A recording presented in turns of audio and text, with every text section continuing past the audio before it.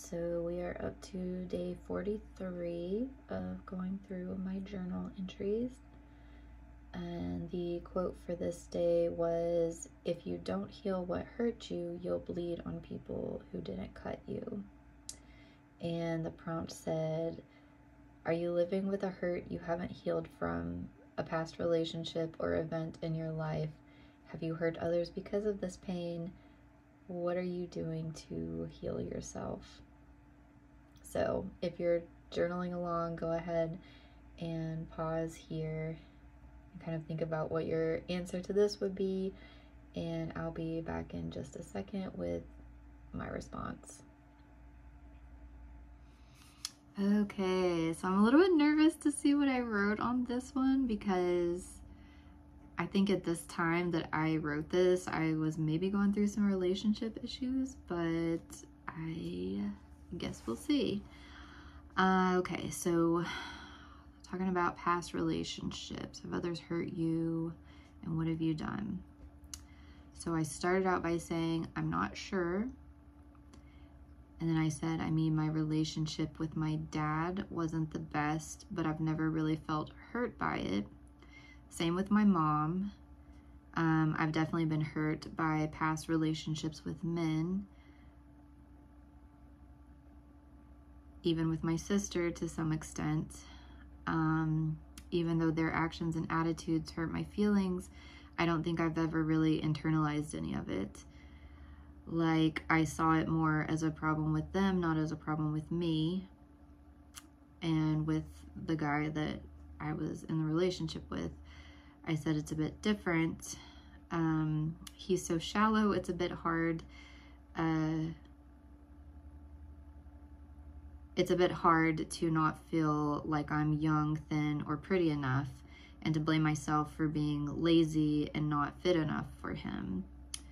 But I also know that there are many things more important than looks, and that there are a lot of men out there who would find me attractive, so it doesn't really bother me. I don't know if I've hurt others, but part of that comes from the fact that I rarely let anyone in, so it's hard to hurt others when there's no one around when there's no one around to hurt.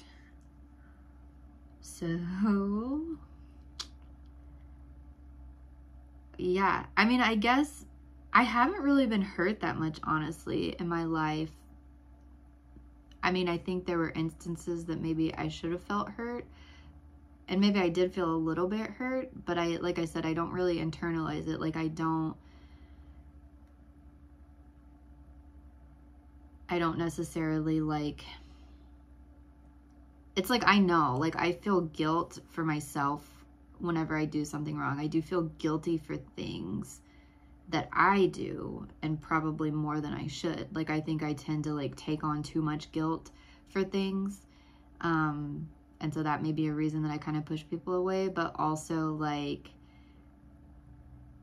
when people do something bad to me, I don't tend to take it personally. I just typically, I mean, sometimes like initially I will and I'll get a little bit upset at them, but I like, I don't hold grudges or hold on to like anger very long, which is kind of a bad thing because I tend to like overlook when people do things wrong to me. And, um, but also I don't hold on to that anger. So, and maybe I've overcompensated by just like cutting ties with everyone to prevent it from happening. But yeah, I mean, I don't hold on to a lot of hurt um, from the past. And then I talked about that with like my past relationship with the person who was really shallow and like what it turned out to be, I'm pretty sure is not that like they were doing bad things. They were they were cheating and things like that and I think to them they used my looks as like justification for cheating like you know oh well you're not perfect and so it's because you're not like staying in shape and things like that that I'm doing that. But like they only said it to me one time really. And as soon as they said it I like called them out on it and I was like that's not that's not why. And then they were kind of like or I was like, that's not an excuse. And they kind of like backpedaled and were like, I know, I, you know, but it does, it does hurt whenever you're interested in someone and you know that they're shallow and you know that they're into looks and things like that. Um, but I don't know, like it, it did hurt me, but I don't feel like I, it made me feel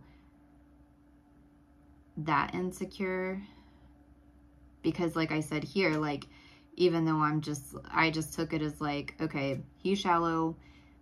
I'm never going to be able to maintain like the looks that would appease him. And so I just let that relationship go because I knew that there's other people out there. Either one, there would be someone else out there that would find me attractive, or two, if there's not, I would rather be alone than to be trying to live up to some beauty standard that this person is with. And if, you know, something happens and I can't maintain my looks, then that person would leave. And so I, that's not the type of person that I want to be with. So, like, yeah, I mean, it kind of sucked, but like, it didn't really bother me. Like, I never have felt, I guess, the need to I don't know what I'm saying here. I'm kind of rambling. Like,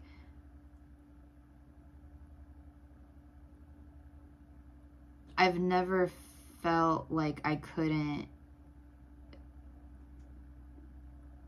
like that I would be alone forever. Like, I've never felt like that me having a partner, like, wasn't an option for me. I knew that I looked probably good enough to attract someone and then that I would have an option, I guess. I don't know, that sounds kind of like full of myself. But yeah, I mean, I don't think I'm like, I'm definitely not a 10. I'm not like drop dead gorgeous, but I'm also attractive enough that just based on attractiveness, I could get a partner. But at the same time, I don't want a partner that's just with me for my looks.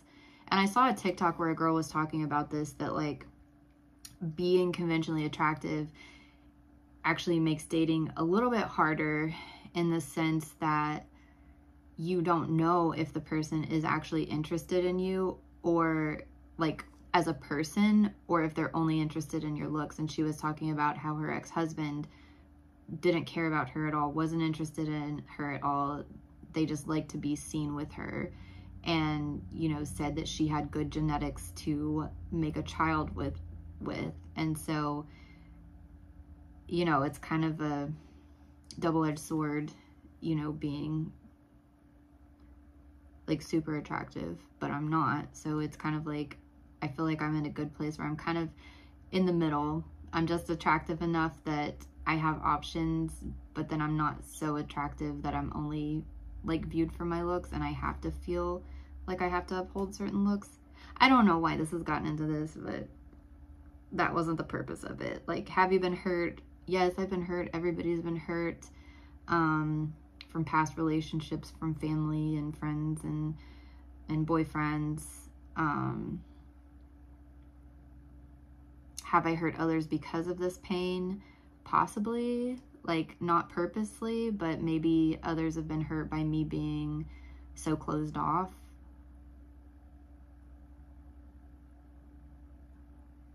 And then what am I doing to heal myself? Like this, I guess. Just trying to better understand myself and why I think the way that I do and the things that I think. So,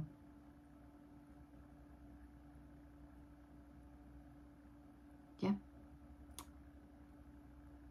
That's probably not a very good response. I don't think that's a good response, but that's what I have for this. So, that's day 43 and I'll be back tomorrow with day 44.